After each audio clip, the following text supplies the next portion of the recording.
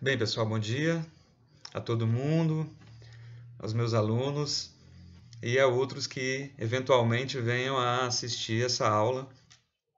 Ela é especificamente uma aula de literatura brasileira, é, situada é, no pré-modernismo e na geração de 30, uma vez que a gente já fez uma aula especificamente da geração de 22. Então, é, antes de ir diretamente para a geração de de 30, é, falar um pouquinho a respeito de alguns elementos ali do pré-modernismo. E eu vou começar aqui é, trazendo um pouquinho do Augusto dos Anjos.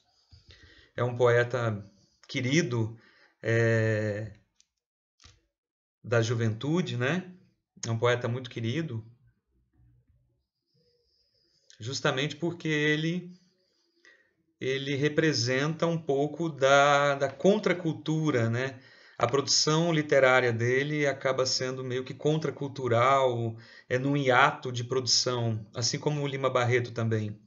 Está atrelado mais a suas próprias características, né, do que a um grupo propriamente dito. Então, Augusto dos Anjos acaba sendo é, acaba sendo isso. Ele tem essa característica meio que marginal. O próprio Antônio Cândido eu começo aqui falando do Augusto dos Anjos. O próprio Antônio Cândido ele inicia dizendo que Augusto dos Anjos ele foi também um poeta marginal, né? Porque ele o percurso poético dele, a vida dele de 1884 a 1914, um período curto, mas que é, a produção da obra dele, a, o lançamento da obra dele por, por conta e risco em 1912, ele traz essa carga de é, revolução, de, de, de elemento marginal.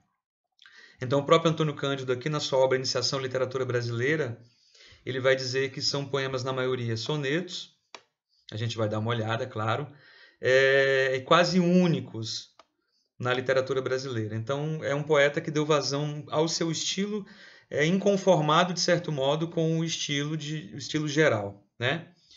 É, a sua escrita aproveita a divulgação científica que dominou o século XIX e que ele elaborou no verdadeiro sistema poético, marcado pela influência de Baudelaire, todo aquele trabalho de, de massificação do mal, né? das flores do mal do Baudelaire, essa coisa do, do universo negro, do universo obscuro, que já é, na verdade, um pós-era vitoriana, é, e aí ele também ah, faz uma referência ao Antero de Quental e ao Cruz e Souza, o nosso é, grande Cruz e Souza. Falam as más línguas que o nosso Cruz e Souza acabou por copiar muito né, é, é, é a poesia simbolista que acontecia lá na França e ele acabava catalisando essa poesia para cá. Né? A crítica fala um pouco disso, mas o Cruz e Souza, de certo modo, tem um valor inestimável para a gente. A sua matéria são o micróbio, a célula, o embrião, o escarro, a ferida, a decomposição da carne, que ele combina em poemas pessimistas e agressivos. Então, esses ingredientes aqui é, acabam que, se a gente parar para pensar, a agressividade futurista estava bem na alçada é, política, né? do Marinetti, nacionalista, política, que acabou eclodindo na Primeira Guerra Mundial.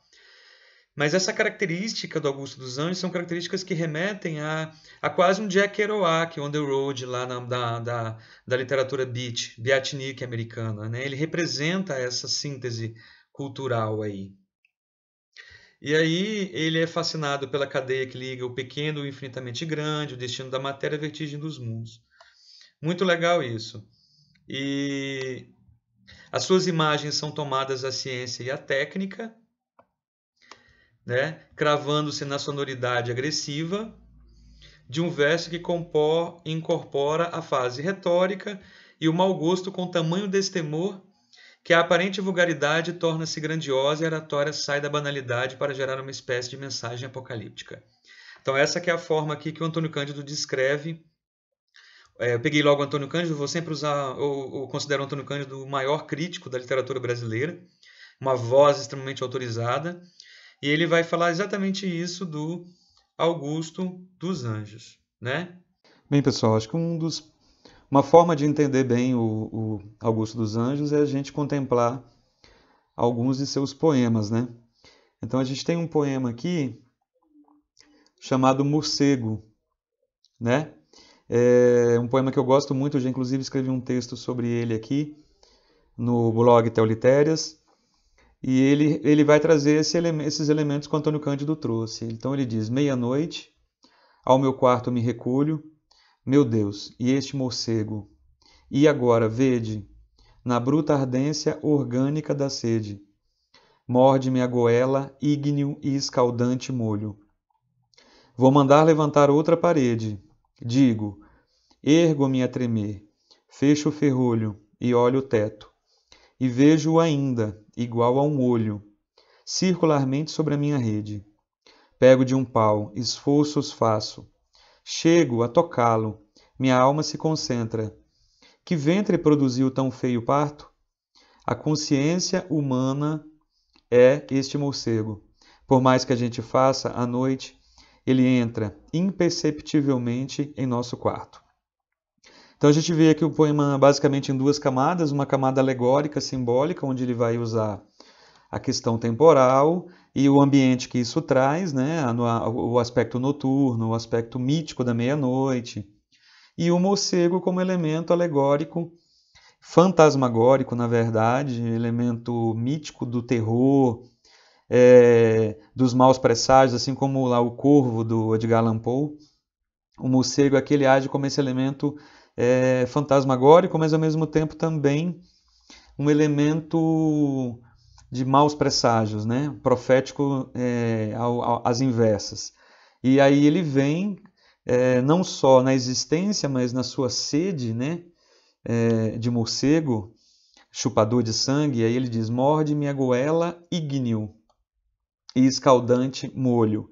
Então é legal que a gente pode ver o trabalho com as oclusivas assim, ó, bruta, ardência orgânica. Então tem muita oclusiva dental, é, ígneo, escaldante molho. Esse trabalho com Cs, né, com as oclusivas, é, com os R's, as fricativas, isso faz um efeito sonoro muito interessante aqui e que vai dar essa velocidade, essa agressividade, essa violência que é necessária. Ele aí ele diz: vou mandar levantar outra parede, que pode ser até encarado como um simulacro de proteção, de, de barreiras psíquicas para fugir disso, né? Aí ele, ele digo, ergo-me a tremer, fecho o ferrolho e olho o teto. E aí uma segunda camada, uma segunda camada onde é a, a, a explicação da alegoria, que é a questão da consciência humana, que é o morcego, que não tem como você bater, não tem como você fazer nada, e essa consciência ela está sempre atrás de ti. Então isso faz do Augusto dos Anjos um poeta muito original e também faz um poeta que sabe utilizar de alguns recursos bem interessantes. Então quando ele diz aqui é, e olho o teto e vejo ainda igual a um olho circulamente sobre a minha rede. Então essa, esses dois versos aqui eles têm muito a ver com a questão da, das psicoses, né? É, e que está, por exemplo, lá no cheiro do ralo, no, no, quando ele pega aquele olho e vai e sai pela rua com aquele olho. Então essas psicoses elas são bem interessantes de ser analisadas. Então isso aqui é um exemplo. E aí, inclusive, nessa postagem que eu fiz no Teolitérios, eu fiz uma relação com aquele quadro do Goya. O sono da razão produz monstros. Está muito pequenininho aqui. Deixa eu ver se eu consigo ver ele melhor aqui. É... O sonho. Vamos pegar aqui o Goya sonho, sonho da razão. Aí a gente vai tentar encontrar aqui uh, esse quadro só para a gente poder. Só, ó. Então é um quadro muito interessante, ó. Não sei se dá para ver aqui, né? Dá para a gente dar uma olhadinha aqui. Aí ele vai abrir a matéria aqui. Deixa eu ver. Aqui, ó. Então só para a gente entender aqui essas figuras mitológicas da coruja assombradas, né? O gato, o felino do presságio, onde ele diz: o sujeito da razão, né? O sonho da razão produz monstros. Então dá para fazer uma analogia aí, porque na verdade isso aqui é tudo fluxo psíquico, né? Dessa composição aqui. Então esse aqui é um poema típico do nosso Augusto dos Anjos. É... Então a gente pode perceber aqui que é uma característica né, é, típica do, do, do Augusto. Então, esse poema que a gente já trabalhou ali. Então, você pega aqui, o monólogo de uma sombra. Como um pouco de saliva cotidiana mostra o meu nojo à natureza humana. A podridão me serve de evangelho. Amo estercos resíduos ruins dos quiosques e o animal inferior que urra nos bosques. Então, essas figuras grotescas também, aristotélicas do grotesco, acho bem interessante. E com certeza meu irmão mais velho, tal qual quem para o próprio túmulo olha, amarguradamente se me entolha. O Eugênio de Castro tem, no simbolismo português, muita referência ao túmulo. Um poeta tem um poema dele, do Eugênio de Castro, que ele diz que a, o, o, o moribundo escuta a batida dos martelos dos marceneiros que estão construindo o caixão, né? o seu próprio caixão. Então é legal, trazendo do deserto das ideias o desespero endêmico do inferno, que a gente sai um pouquinho do soneto, ah, nesse aqui a gente acaba saindo um pouquinho do soneto tradicional, dá, dá para perceber aqui, né? É, como uma urna vocação para a desgraça e um tropismo ancestral para o infortúnio. Aí vem sujo a coçar chagas plebeias, trazendo no deserto das ideias o desespero endêmico do inferno. Com a cara hirta, tatuada de fuligens, esse mineiro doido das origens que se chama o filósofo moderno. Então, olha que imagem maluca, né? Do filósofo moderno prescrutando as camadas de as camadas de solos geológicas e voltando, né, com a cara tatuada de fuligens, quis compreender, quebrando estéreis normas, a vida fenomênica das formas, que, iguais a fogos passageiros, luzem e apenas encontrou na ideia gasta o horror dessa mecânica nefasta e que todas as coisas reluzem. Bem, aqui a gente não vai dar sequência, mas só para vocês conhecerem um pouco dessa linguagem típica dele. Bem, é interessante que essa verve né, do Augusto dos Anjos para composição pelo esse viés jovem, né? Pelo esse viés, eu quando digo jovem, eu digo no sentido de uma linguagem é, para a época, né? Que usa elementos do, da ciência, que usa elementos sonoros um pouco agressivos e que tem uma tendência a ter uma velocidade, que tem uma tendência a ter uma mensagem de rebeldia diante das normas, né? Então há também, a gente pode perceber que se você pega mais ou menos essa tônica, você pega, por exemplo, o próprio Titãs, né? A banda Titãs, o pulso ainda pulsa, o pulso ainda pulsa, peste bubônica, câncer, pneumonia, raiva, rubéola, tuberculose, anemia, rancor, citicircose, cachumba, difteria.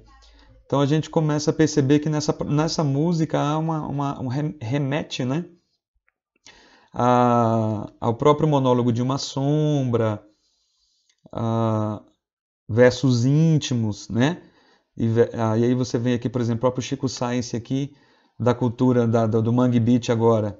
Estou enfiado na lama, é um bairro sujo, onde os urubus têm casas e eu não tenho asas, mas estou aqui em minha casa, onde os urubus têm asas. Então, a gente tem várias referências a esse a esse essa linguagem do Augusto dos Anjos. Aqui a gente vê algumas fotos aqui coletadas da internet. E um dos poemas mais sonetos mais famosos dele é os versos íntimos, porque ele, ele vai retratar essa, essa. Vamos pegar aqui os versos íntimos aqui para a gente poder dar uma olhadinha. Ele vai retratar um pouquinho. Então ele diz: ó, vês, ninguém assistiu ao formidável enterro da tua última quimera. Somente a ingratidão, esta pantera, foi tua companheira inseparável. Acostuma-te à lama que te espera o homem que, nesta terra miserável, mora entre feras, sente inevitável necessidade de também ser fera. Toma um fósforo, acende teu cigarro, o beijo, amigo, é a véspera do escarro. A mão que afaga é a mesma que apedreja. Se alguém causa ainda pena a tua chaga, apedreja essa mão vil que te afaga e escarra nessa boca que te beija. Então, o sucesso desse poema aqui ele se dá por N elementos. Então, nós temos muitos elementos de sucesso desse poema aqui, justamente porque a gente tem toda uma uma, uma questão interlocutória, onde ele trabalha com seu leitor, ou trabalha com um interlocutor discursivo aparente, o indivíduo a quem ele está se direcionando, que não necessariamente possa ser o leitor, então quando ele diz toma um fósforo e acende o teu cigarro, ele está na propositura de um interlocutor, um, um tu, que não necessariamente seja o leitor. Ele, ele cria um tu entre o eu, eu e o tu e o ele. Então ele faz um espetáculo para o ele, que somos nós leitores. Então esse tu a quem ele está se direcionando e a quem ele chama discursivamente aqui por uma forma deítica, quando ele dá essa, essa, esse vocativo aqui, ele aproxima. E aí ele dá a lição de um modo mais próximo, que ele diz o beijo amigo. Então essa função apositiva, que ela tem uma função de aproximação, é a véspera do escarro. A mão que afaga é a mesma que apedreja. Aqui a gente tem também uma questão determinista, que ele diz aqui, ó, o homem que nesta terra miserável mora entre feras sente inevitável a necessidade de também ser fera, aquela questão de o, é, o homem é fruto do meio, então um determinismo natural daquele final do século XIX, com as teorias deterministas, positivistas e tudo mais. E aqui eu acho que a grande tônica do poema, que é se alguém causa ainda pena a tua chaga, a forma poética que ele usou, claro, levando em conta ser Augusto dos Anjos, né? É apedreja e escarra. Apedreja na mão que te afaga e escarra nessa boca que te beija. Então, além do fenômeno melopeico, né? Além do fenômeno é, enunciativo de você falar apedreja essa mão vil que te afaga, escarra nessa boca que te beija, que isso aqui é o êxito do poema, onde ele consegue fazer uma junção fonética desse escarra com essa mensagem autodeclaratória de despreendimento e de, de forma de rebeldia e forma de crítica, né? não só crítica, mas muito mais do que isso. Uma premissa de, de, de exaurir né? tudo aquilo que está abundante dentro desse eu poético aqui, dentro desse eu discursivo. Né? Não necessariamente a gente pode falar pela cara do Augusto dos Anjos aqui, a gente pode avaliar, por exemplo, que a gente está falando do autor. É muito importante na literatura a gente separar o que é voz discursiva né, do que é a existência real do poeta. Né? Então isso é bem interessante, até porque normalmente esses poetas são discretos. Né? É, o eu interior dele e o eu discursivo que fala por ele é muito mais forte do que o próprio eu, pessoa física, né, que a gente acaba confundindo aí. Beleza, então, então pessoal, assim, Aqui é uma breve é, é, ideia a respeito do Augusto dos Anjos, para a gente poder um entender um pouquinho né, essa, essa, essa característica né, do Augusto. Eu tinha até separado as imagens aqui do Goya, acho que estão de melhor qualidade aqui para a gente ver. A gente poder dar uma olhadinha nela de melhor qualidade. É. Então a gente percebe aqui até umas figuras, né? Essas figuras grotescas que povoam o imaginário, o morcego. Então, esse, essa, essa relação com essa pintura do Goya, que o sono da razão produz monstros, é muito interessante. É bem interessante e é bem frutífera. Tranquilo? Bem, então, passado um pouquinho aqui do Augusto dos Anjos, só para a gente poder. Não, não é um estudo, mas só para a gente poder fazer uma referência ao Augusto dos Anjos, e é, sempre é bom estar estudando mais o Augusto dos Anjos. Eu queria agora dar um salto aí para a geração de 30, uma vez que a geração de 22 a gente já deu uma olhada. E aí a geração de 30, ela, a gente teria que primeiro entender a geração de 30 olhando pelo Antônio Cândido, né?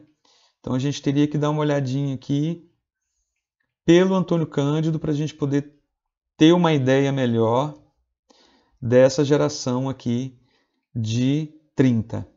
Então, antes da gente. Vamos dar uma olhadinha aqui no que ele fala aqui, especificamente sobre a geração de 30. Que ele vai justamente aqui, ó, no livro Educação pela Noite e Outros Ensaios. Eu vou. Ele, ele coloca aqui, ele coloca o Carlos Drummond. Resumidamente assim, antes de eu, de eu pegar alguns aspectos aqui específicos, é, é bem importante a gente entender que a geração de 30 ela foi marcada pela Revolução de 30. Então a gente teve revolução política, a gente teve revolução econômica no mundo. É um daqueles momentos onde a história tem um nó, onde a história tem uma ruptura, onde a história tem um cataclisma que balança o tabuleiro e as peças do jogo, elas acabam balançando também. E aí, a gente pode pegar um trecho aqui interessante aqui que ele diz, ó, na poesia houve um fenômeno paralelo. O que ele está falando aqui é a respeito do engajamento político que a gente vai comentar um pouquinho em cima, um engajamento político muito forte, mas diferente, que foi positivo. A tensão entre o verso elaborado segundo regras, e o não verso livre em vários sentidos. Então aqui a gente tem já o Antônio Cândido fazendo uma previsão, uma profecia, na verdade, porque ele está tá avaliando ali em tempo real. Ele é um crítico que está olhando aí o que é produzido e também olhando pela história, pelo viés da crítica, atrás, o passado, mas também olhando o que foi produzido. É, então essa tensão entre o verso e o verso e o não verso, o livre, que não tem aquela métrica clássica, que não tem uma quantidade silábica amarrada, ele está mais para prosa, né? E aí ele diz aqui, ó, poetas como Drummond e Murilo Mendes pareciam reduzir o verso a uma nova forma de expressão, que incorporou as qualidades da prosa, e isso é nítido, né? A gente, qualquer mergulho que a gente faz no Drummond, a gente vê que ele, ele desvirtua um pouco a poesia para a tensão é, poética da palavra propriamente dita. Ele continua mantendo a tensão, a, a, entropia né, da palavra. O que é entropia? É a capacidade mínima da palavra ter uma, um campo expressivo interno pequenininho, mas em contato com o externo ela tem uma, uma, uma explosão. É uma massa de significante pequena, mas que em contato com a, o exterior interpretativo, ela explode em significados. Então é um aspecto, é um aspecto entrópico. Mas por outro lado também, o Drummond ele, ele acaba tendo, e é interessante isso, ele acaba tendo também é, um caráter prosaico muito grande, narrativo muito grande, né? Assim, o Murilo Mendes, que é mais pictórico, que é mais visual, a gente vai dar uma olhadinha. E funcionou como instrumento, aí o Antônio Cândido continua, e funcionou como instrumento adequado para exprimir o dilaceramento da consciência estética. É claro, né, gente, que a literatura é como uma musculação. Você vai lá, malha, rompe os músculos da tradição, depois volta a reconstruir os músculos da tradição. É esse processo, esse pêndulo ou essa espiral que dá a tônica aí, naturalmente, do, da literatura. Sob este aspecto, eles prolongaram a experiência modernista de apagamento das fronteiras entre os gêneros que foram empreendidos nos anos de 20, sobretudo por Oswald de Andrade, né, publicado em 73, e que nos anos 30 encontrou manifestação curiosa no irrealizado O Anjo, de Jorge de Lima. É, então a gente está vendo aqui que o Drummond levanta um ponto mais central, tirando o ponto que ele discute político ali, depois atrás a gente pode dar uma olhadinha, que a gente pode resumir como questão política voltada para uma tendência social, para uma tendência de esquerda, né, principalmente ali pela, pela... Nós vamos, vamos, dar uma passadinha lá no texto, vamos dar uma, uma sobrevoada de drone no texto para a gente poder dar uma olhadinha no texto para trás. Tá?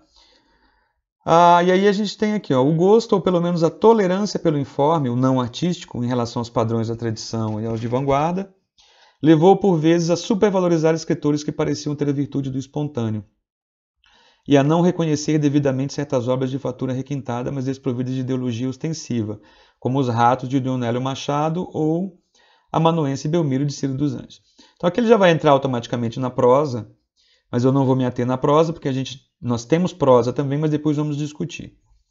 Mas se a gente voltar aqui, o que, que ele fala da Revolução de 30, fazendo aqui uma, uma, uma breve retomada das ideias dele, bem, bem simples, então ele diz aqui, ó, Revolução de 30 e a cultura.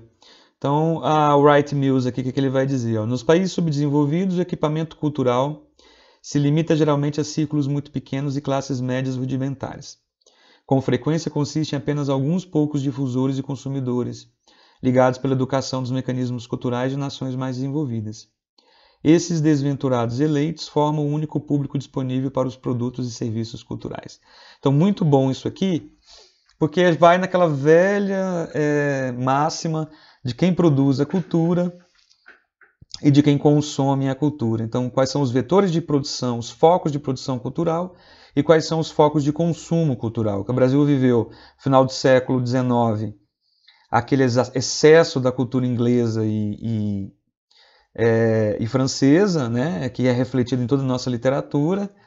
Até Machado de Assis, mesmo ele relutante, ele tem esses elementos, até porque nós estamos dentro de uma, de uma bolha cultural é, e a gente vai tentando se desvencilhar dela, né, no, no modernismo lá, com manifestos pau-brasil, verde e amarelo, a cultura de exportação, todo mundo que a gente já conhece aí de trás para frente. Mas eu acho que o grande ponto central é justamente esse, de quem, quem são os vetores de criação e os vetores de consumo. Uh, Antônio Cândido disse que os anos 30 teve uma atmosfera de fervor, né? Então a gente teve muito tumulto, muito movimento nessa época, através inclusive da própria revolução, né? Então se a gente for pesquisar aqui na história aqui, o que, que foi a revolução, aqui, ó. Pegando aqui, ó, logo de cara aqui, né?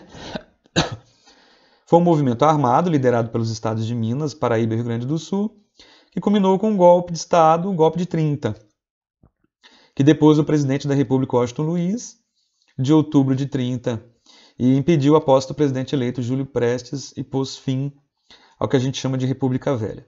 Então, assim, não discutindo a questão histórica, mas nós sabemos que todo golpe de Estado ele, ele, ele é duro porque ele não preserva certos freios, né? o sistema de freios e contrapesos é, constitucionais. Automaticamente, quando você faz um golpe, é porque você está justamente desrespeitando a, a, uma lei maior. E isso afeta a própria literatura, isso afeta a própria construção social. O movimento social que era para ser mais lento, ele acaba sendo mais rápido. O tremor aí, ele acaba sendo mais rápido. Né? E aí, ó, mas foi um eixo e um catalisador. O que, que o Antônio Cândido diz disso? Um eixo em torno do qual girou, de certo modo, a cultura brasileira, catalisando elementos dispersos para dispô-los numa configuração nova. Então, nesse sentido, foi um marco histórico daqueles que fazem sentir vivamente que houve um antes e um depois, em grande parte porque gerou um movimento de unificação cultural, projetando na escala da nação fatos que antes apenas aconteciam nas regiões. Então, é claro que a gente vai ter aqui um grande, um grande hecatombe histórico, como é uma, um golpe de Estado, né? e na situação que foi, um golpe armado, é, ele vai construir em cadeia mudanças é, culturais. Né? É, então, o que, que a gente poderia pegar aqui? Ó? Mudanças na educação, é, mudanças na educação, que pode ser resumidos até aqui. Ó. Os anos de 30 foram de engajamento político, religioso e social no campo da cultura. Mesmo os que não se definiam explicitamente, e até os que não tinham consciência clara do fato, manifestaram na sua obra esse tipo de isenção ideológica, que dá contorno especial à fisionomia do período. É, ali, é, na época de 30, a gente vai ter um desenho muito grande das duas grandes, dos dois grandes cenários ideológicos mundiais, que tem a ver com a questão econômica e social, que era de um lado a, o socialismo, ou o que a gente pode chamar de, de tendência socialista, né? e de um outro lado uma tendência é, liberal, talvez, né? E, e, a gente tinha essa, é, o início de uma polarização, então uma necessidade de uma definição. Então, a gente teve mudança na educação, a gente teve mudanças, é, aqui o que ele diz, ó, liberalismo educacional, então a gente teve, foi um momento de muita, né, de mudança nesse sentido, é, mudanças, engajamentos ideológicos da, da da forma de educar, ó, os ideais dos educadores, desabrochados depois de 30, pressupunham de um lado a difusão de instrução elementar, que conjugada ao voto secreto, deveriam formar cidadãos capazes de escolher bem os seus dirigentes. Então há, há uma politização. É, o que, que é mais interessante aqui a respeito disso? Ah, ele fala muito a respeito da questão da educação, mas aqui, ó, nas artes e na literatura foram mais flagrantes do que em qualquer outro campo cultural a normalização e a generalização dos fermentos renovadores é, que nos anos 20 tinham assumido o caráter excepcional. Então ele diz aqui, ó, nos anos 30, houve sob esse aspecto uma perda da auréola do modernismo, proporcional à sua relativa incorporação aos hábitos artísticos e literários. Então ele diz, ó, não esqueçamos que o hino da Revolução de 30 é de Vila Lobos, músico de vanguarda que encontrou grande apoio na área de Vargas, quando foi, de algum modo, oficializado dirigiu o movimento de canto coral. Então é bem interessante é, é, essa, esse diálogo com a vanguarda artística, quando você tem lá alguém que estava ligado à, à, cultura de vanguarda, como Vila Lobos, ao modernismo, um movimento revolucionário, talvez naquele momento não se colocava politicamente, e depois ele ia entrar como um, um político da direita, de certo modo, ali, né, do que vai chamar de, de, liberal. Assim como o próprio Lúcio Costa e Niemeyer, né, que é, trabalharam nesse momento, assim como Cândido Portinari também, nesse, nesse, nesse estado de exceção. Né? Ah, aí aqui falando Antônio Cândido, continuando, a gente está aqui, né, só lembrando que a gente está aqui fazendo uma leitura é, bem é, olhando de cima para a gente fazer um resumo, né? E aí do Educação pela Noite e outros ensaios. Então ele diz aqui, até 1930 a literatura predominante mais aceita se ajustava a uma ideologia de permanência, representada sobretudo pelo purismo gramatical, é, que tendia no limite a cristalizar a língua e adotar como modelo a literatura portuguesa.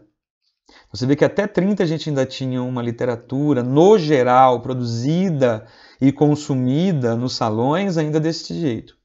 Ela tinha encontrado seu propagandista no Barão do Rio Branco e o seu modelo no estilo de Rui Barbosa.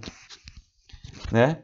E aí é que vem a questão das, das, das, das academias, da questão da, da, da normalização formal do, do poeta. Né?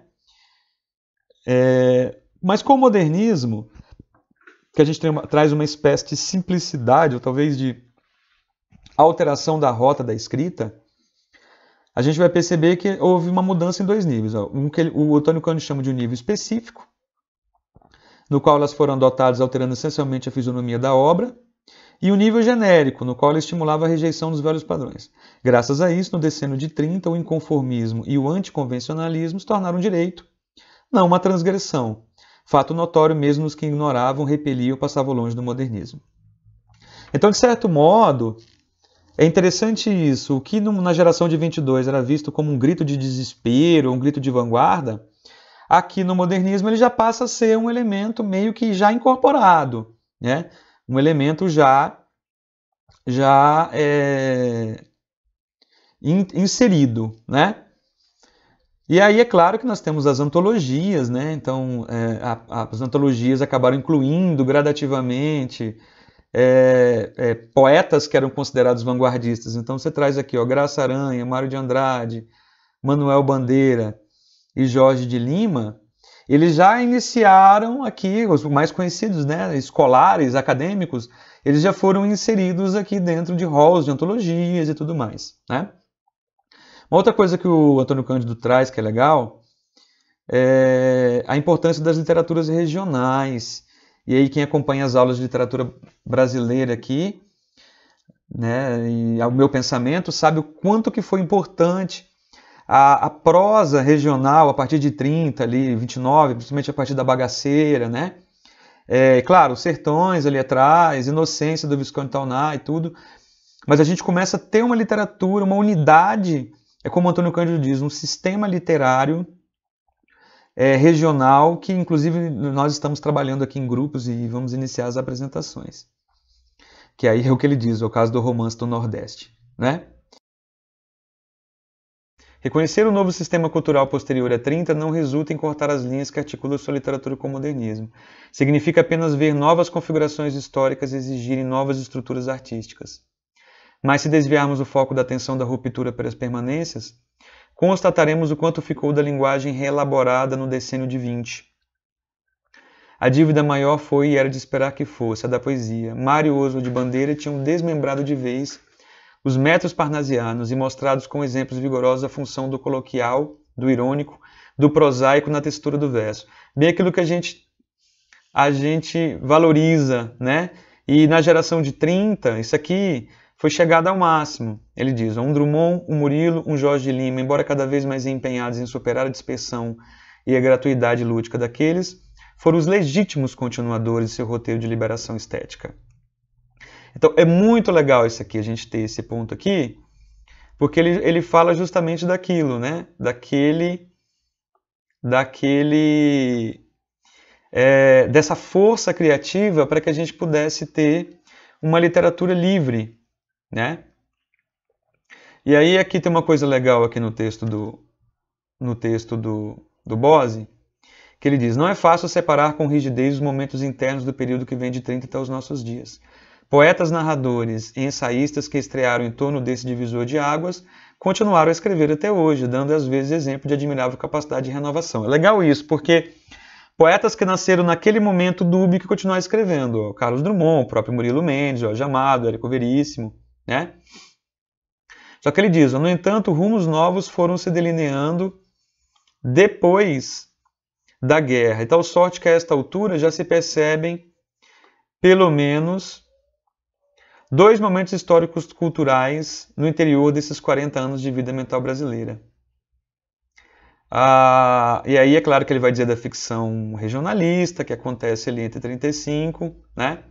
Bem, pessoal, então nós temos modernistas é, dentro da lista do rol dos modernistas mais importantes, a gente tem aqui o o Carlos Drummond de Andrade, a gente fazendo esteira aqui na, no pensamento do Antônio Cândido, no Iniciação à Literatura Brasileira. E ele vai é, retratar um pouquinho, teoricamente, ele começa em 1930, é, com alguma poesia. Então é legal que essa data acaba se tornando emblemática para como uma espécie de marco, né? De marco histórico para iniciar essa fase do modernismo. É, ele o Antônio Cândido diz que no primeiro momento ele parece um modernista de programa, ou seja, ele está meticulosamente ligado aos, aos conceitos estabelecidos, né?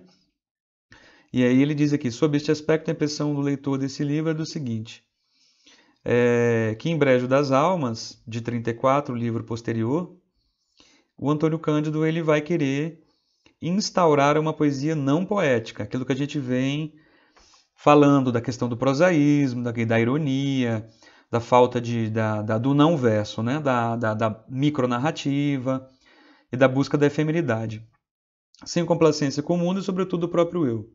Então, aqui, no entanto, o leitor sente ao mesmo tempo que a força poética vem das emoções represadas que parece a cada instante brotar como erva renitente por entre as frestas desse pedregoso universo.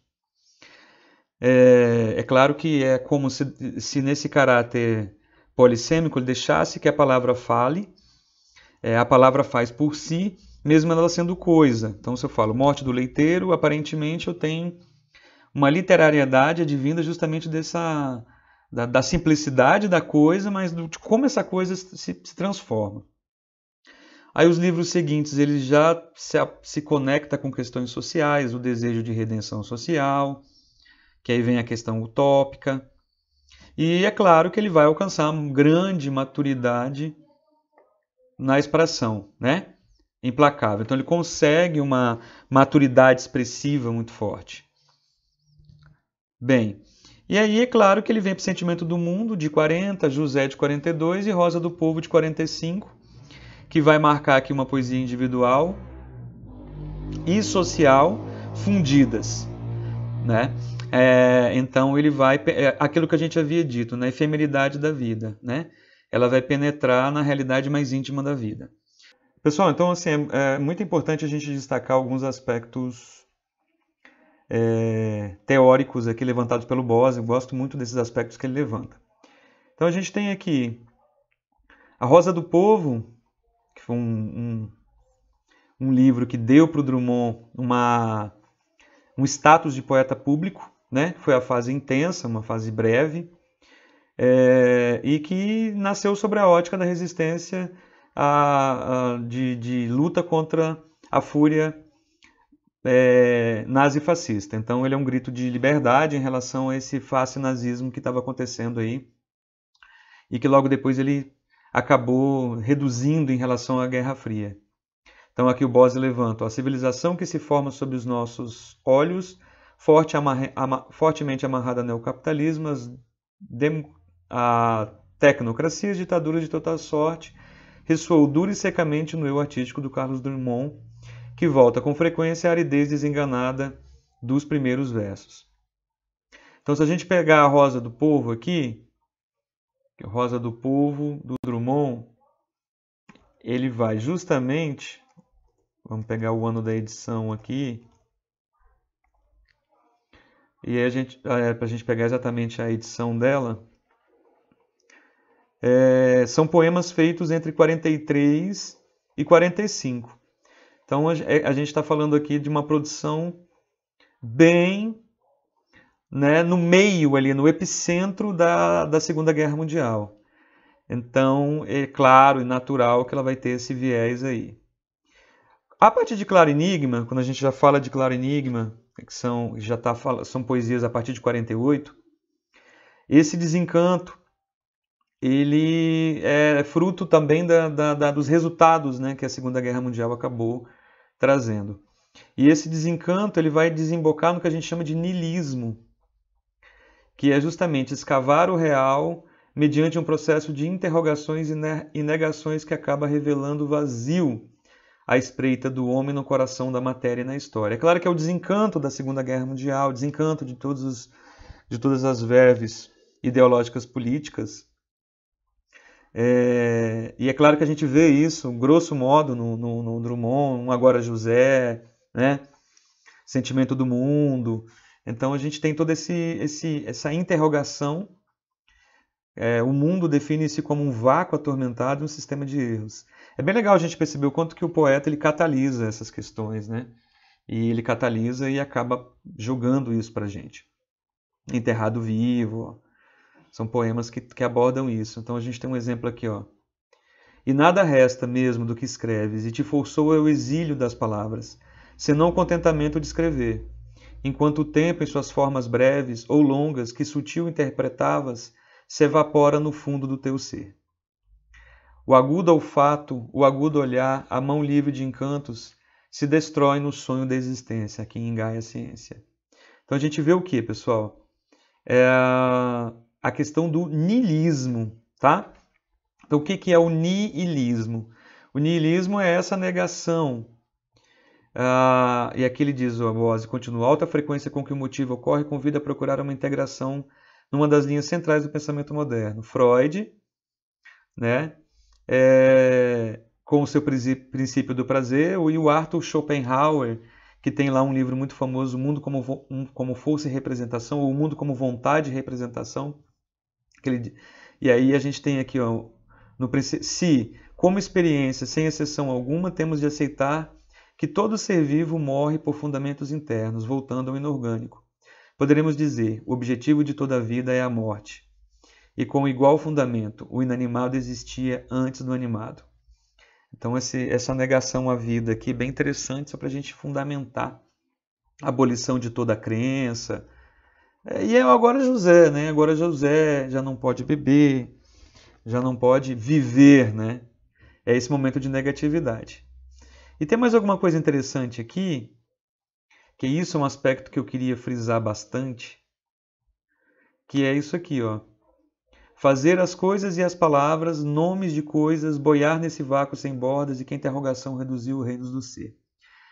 Essa, essa, esse elemento do significante, esse uso do, do, do, do significante, é que vai acabar é, pegando, é, dando as mãos pro, lá para o Drummond, né?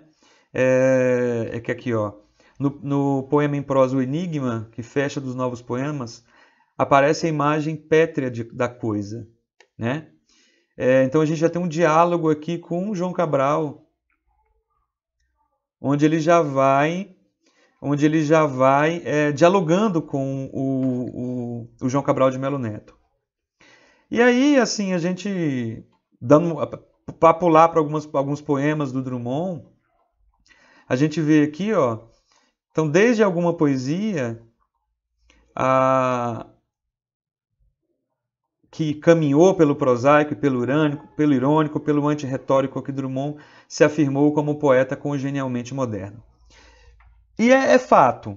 Então, os poemas de cunho irônico, né? os poemas de cunho antirretórico e os poemas, é, é, esse antiverso é que fizeram com que Drummond acabasse sendo realmente o que é Drummond. Né? E aí a gente pode ver aqui algumas, algumas, alguns poemas drummondianos, né? Então é legal se a gente fosse dar uma olhadinha na poesia.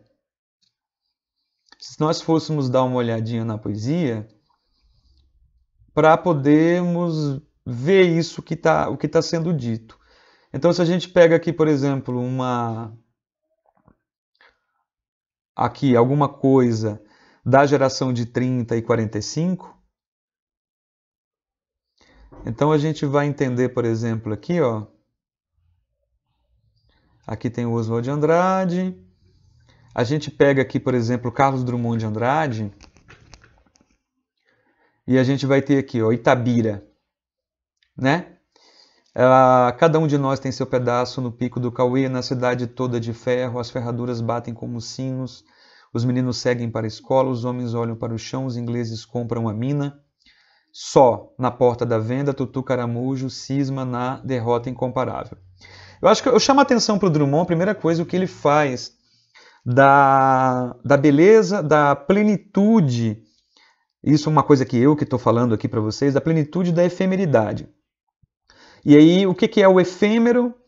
Que é aquele olhar sensível para as coisas simples que o Manuel Bandeira traz também, o próprio Manuel Bandeira traz, onde ele vai buscar a infância, onde ele vai buscar a criança, onde ele vai buscar a fazenda, onde ele vai buscar os cantos da memória para retratar esse efêmero que está escondido e que é invisível aos olhos e que o Drummond tenta torná-lo visível. Então você vê muitos poemas do Drummond tentando mostrar esse elemento efêmero por uma linguagem efêmera por uma linguagem narrativa, por uma linguagem simples, descritiva, narrativa, prosaica, e claro que ali ele burilando para tentar abrir essa linguagem e mostrar a pérola que, que é quase invisível para todo mundo e que está realmente nas coisas bem simples.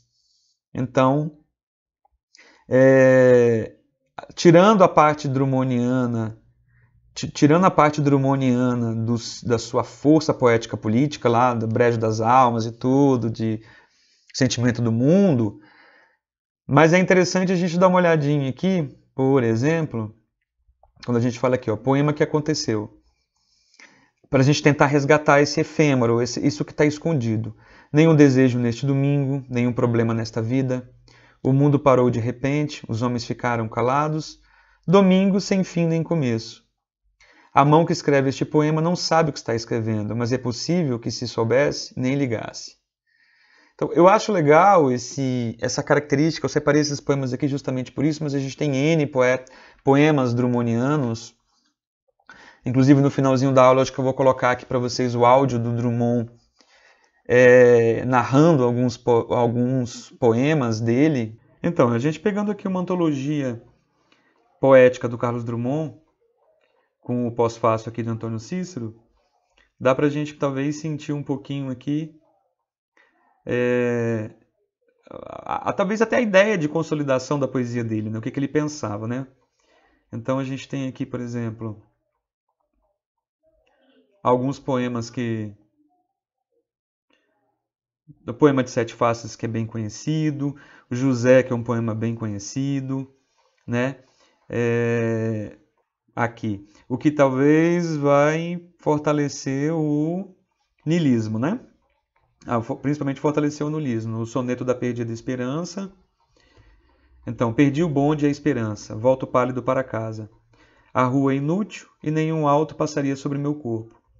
Vou subir a ladeira lenta em que os caminhos se fundem. Todos eles conduzem ao princípio do drama e da flora. Não sei se estou sofrendo ou se é alguém que se diverte. Por que não?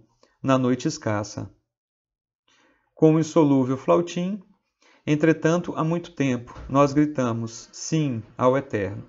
Como quadrilha, né? Os ombros suportam o mundo, canção amiga, que são poemas conhecidos né, do, do público comum e que, e que tem esse apego popular. Né? Ele acaba tendo um, um apego popular porque essa linguagem prosaica é uma linguagem narrativa, é uma linguagem que consegue ela consegue ter força. Bem, o Drummond é inesgotável, né? Então, o Drummond é um poeta que escreveu muito, em vários momentos, ele tanto passa a geração de 30 quanto de 45 e, e vai embora. Ele continuou paralelo a todos os movimentos de vanguarda depois. Bem, do aspecto do Drummond, a, a, gente tem a gente tem que pensar o seguinte, que do aspecto drummondiano, a gente tem esses elementos aqui como norte, mas é claro que a gente ele é inesgotável o tamanho, tanto do tamanho da produção quanto da qualidade da produção. No finalzinho desse vídeo eu vou colocar três poemas narrados pelo próprio Drummond para a gente poder perceber essa essa a forma como ele vai é, construir uma enunciação, tá? E aí a gente pode passar aqui um pouquinho para o Murilo Mendes, é, que é um poeta que daqui da, da de, de 1900 ele já pega o começo, poeta dos contrastes e dos contrários, que começou pela poesia humorística e depois ele acabou sendo eivado pela impregnação surrealista. Ele permeou, depois ele voltou para a fé católica, passando por uma expressão cheia de sentimento, mistério e transcendência. Então é um poeta muito querido, mineiro muito querido, que ele tem essa verve, de, essa pegada, tanto que mística, visual. Eu considero que o Murilo Mendes, dos poemas que eu vou mostrar para vocês, ele tem uma questão muito visual, tá? Mas como a obra de Murilo Mendes é muito extensa ela ainda está por aí é, para ser dilapidada ou lapidada do ponto de vista crítico, do ponto de vista teórico, é, a gente tem que entender que, por ser extensa, ela tem um universo muito grande né? Ela tem um universo surpreendente e é, é essa questão de, de, de, entre o cotidiano e o excepcional. Então, as personagens femininas, a tipologia de personagem feminina é bem interessante.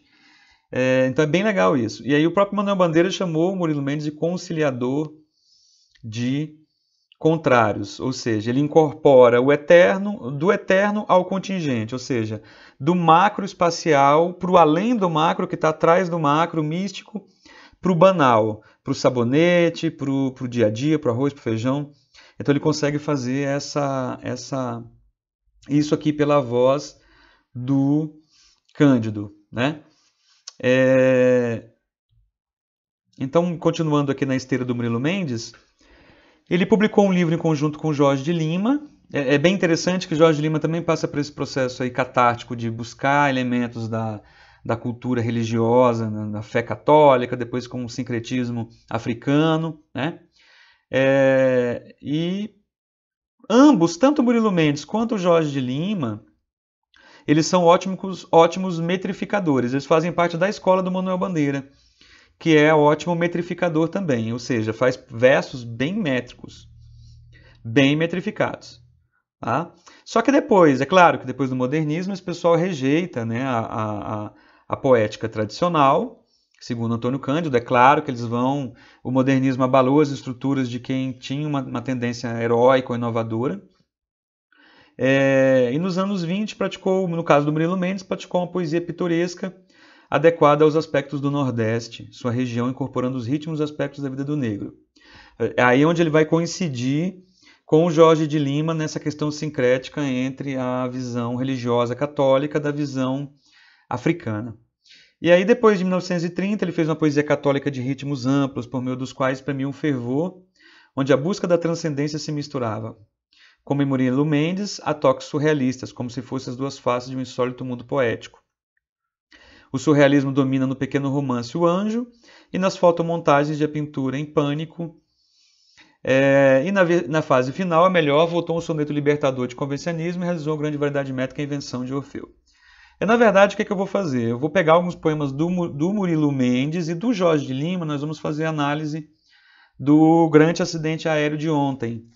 Vamos fazer análise desse poema para a gente conhecer um pouquinho mais de Jorge Lima.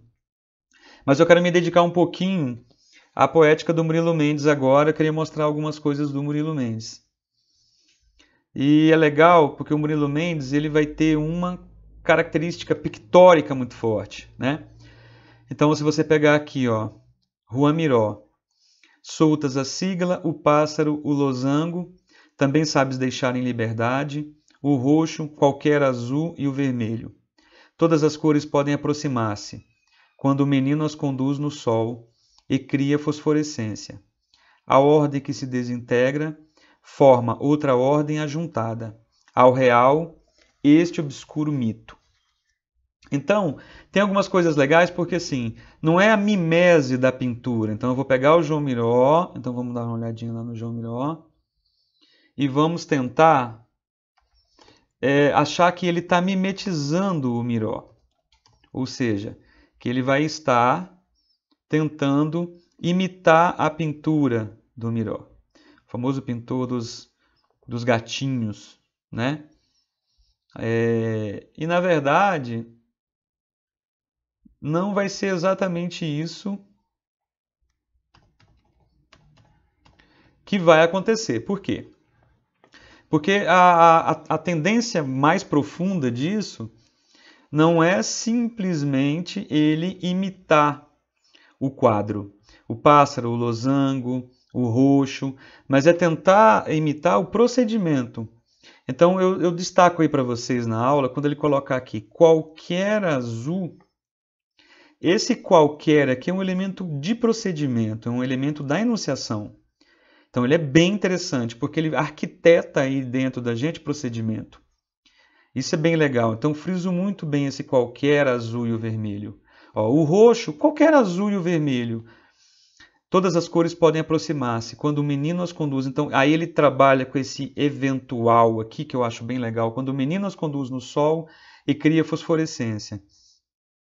Então, é legal porque o que, que ele vai fazer? Ele vai tentar criar um procedimento, ele vai tentar imitar o procedimento, tentando usar o procedimento poético, discursivo da palavra com a probabilidade de um procedimento pictórico.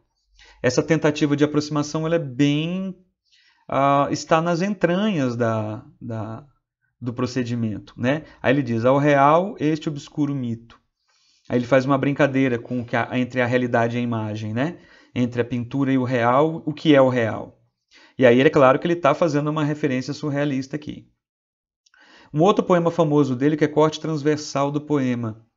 É legal essa ideia do corte transversal, porque é um corte é, onde ninguém quer cortar, né? Então ele diz: a música do espaço para, a noite se divide em dois.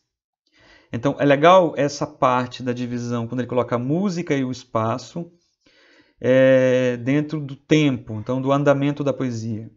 E ele coloca uma menina grande, morena, que andava na minha cabeça, fica com um braço de fora, uma, uma referência muito interessante ao surrealismo. E a próprio cubismo também, Alguém anda a construir uma escada para os meus sonhos.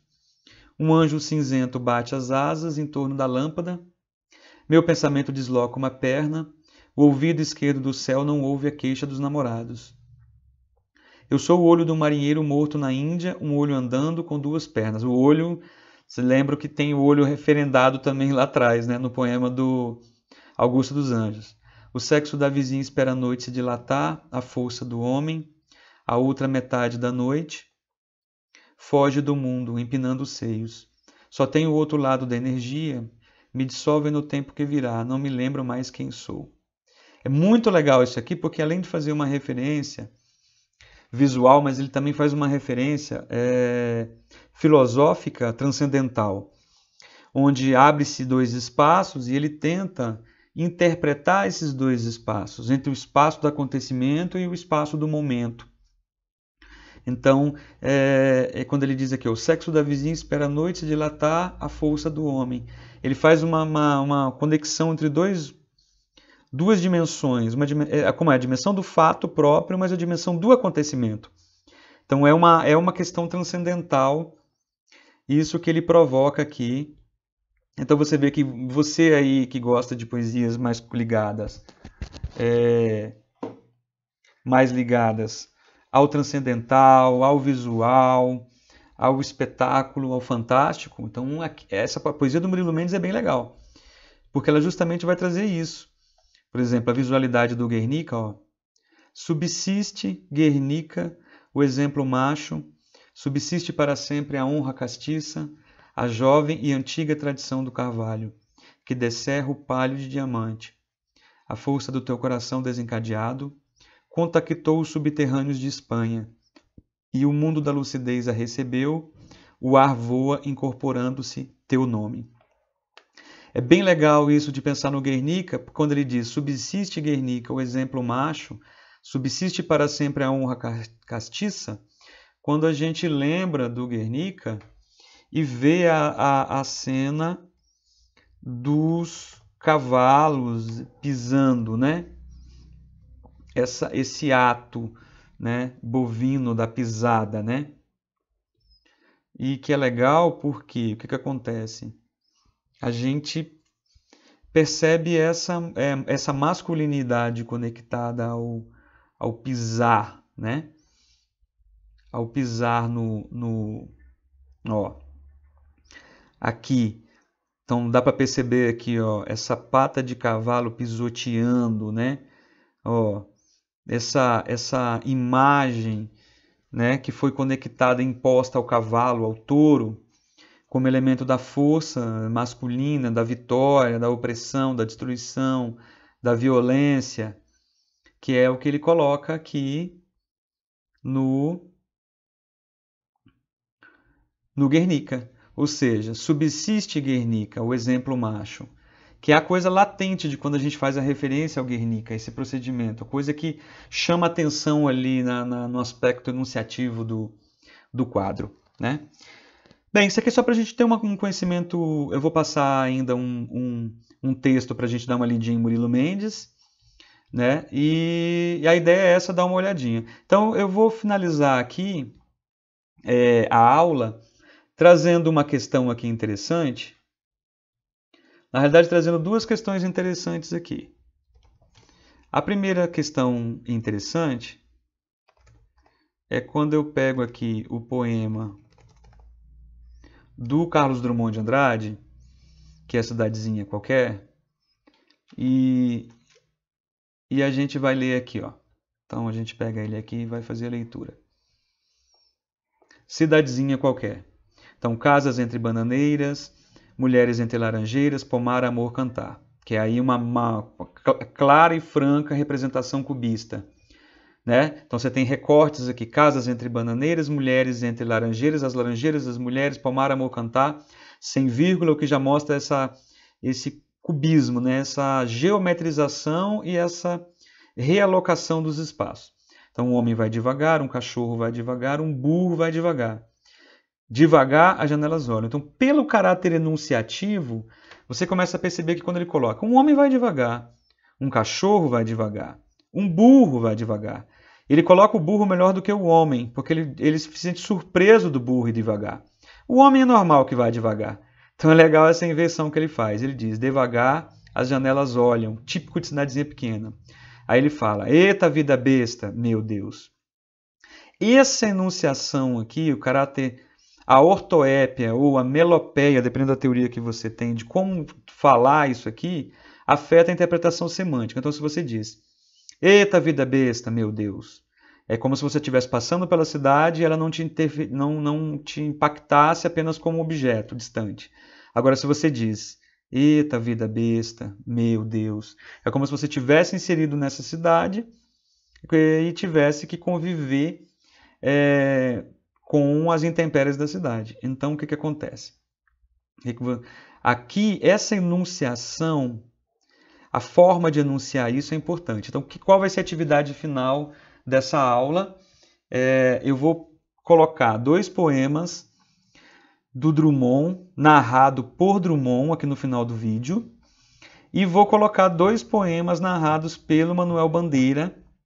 E aí eu quero que vocês escrevam qual a interferência que a maneira de narrar, a maneira de entoar que o poeta coloca, porque o poeta é a pista maior. A gente faz a leitura baseado na pontuação, baseado na colocação pronominal, baseado na, na, na nos, apóstolos e, nos apóstolos e tal. Mas quando o poeta faz a leitura, ele abre uma porta para a gente entender o que, que ele, a ênfase que ele dá para uma palavra, a ênfase que ele dá para outra. Então a atividade aqui é a seguinte: Então eu vou colocar duas narrações de poemas do Drummond e duas narrações do poema do Manuel Bandeira. E aí eu quero que vocês escrevam no texto e postem aqui na atividade, da outra uma hora e meia que a gente tem para fazer, a, a, o que, que vocês acham que interfere quando o próprio poeta narra, na entonação, na ênfase, beleza? Beijão, então, pessoal. Então eu vou encerrando por aqui.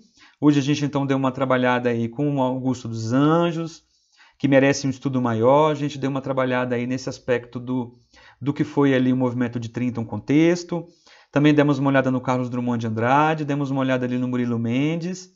E aí eu deixo essa atividade aqui final para vocês escreverem sobre isso e postarem para mim. Ok? Abração para todo mundo. A gente vai evoluindo aqui gradativamente o nosso conteúdo e um, uma, um bom final de semana, uma boa atividade aí e postem lá no, no sistema. Abraço.